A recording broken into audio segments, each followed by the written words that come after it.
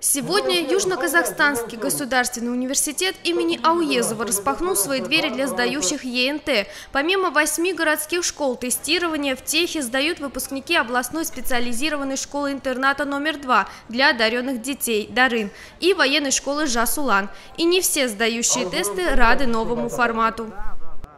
Ну, я думаю, он э, старый формат был лучше.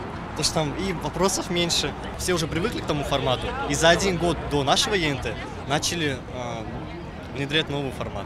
Начали внедрять новый формат. И мне кажется, это за один год подготовиться нереально. Там грамотность чтения, мат- математическая грамотность, она э, как бы надо учить 11 лет. А мы готовились к обычному русскому языку, а нам дали грамотность чтения. все по-новому. Ну, новые правила, скажем так, э, новые видения, новые баллы. Но мне кажется, это к лучшему. Вначале я отнесся к этому негативно, потому что нас все вот 11 лет готовили к одному, а потом в последний момент, за, считай, за полгода, а, пере, переоформили. И вот поэтому было сложно. Но уже под конец я понял, что такая система обучения, она более эффективна. И вот еще для одного потока вчерашних южно-казахстанских школьников все позади. Три с половиной часа тестирования, нервов и переживаний. И уже на выходе говорят, что не все так страшно.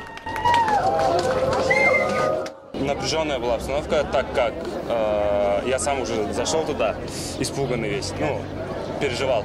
И сам себе такую обстановку создал. Но, по идее, все было очень легко.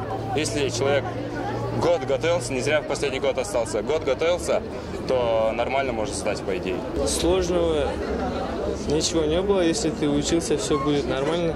Радость, счастье. Как заново родился. Но начало было очень длинное, а, по- пошла проверка, потом объяснение, где-то прошло где-то около часа.